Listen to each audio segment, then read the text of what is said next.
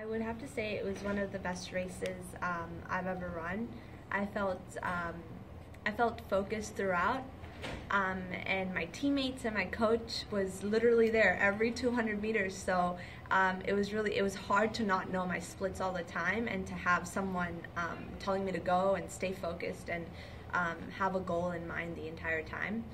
and when I finished, I was I was tired when I finished, but it wasn't like till five minutes after where I just started crying and all these emotions started coming out because I didn't really understand the magnitude of it till I got to digest it a little bit. Um, but yeah, it, it feels great, and I'm still on a little bit of a high. I'm trying to come down from it because I still have to focus on school and stuff. Um, but yeah, I, I hope that I can accomplish more, and and that this is not it. You know, I I look forward to um, finishing the season off strong and just um,